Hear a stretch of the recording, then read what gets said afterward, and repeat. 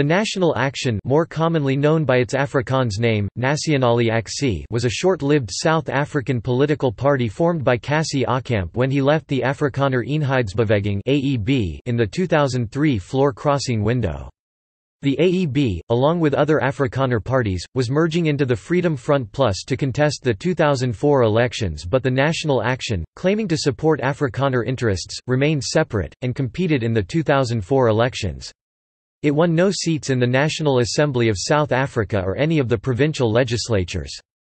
It did not contest the 2009 elections.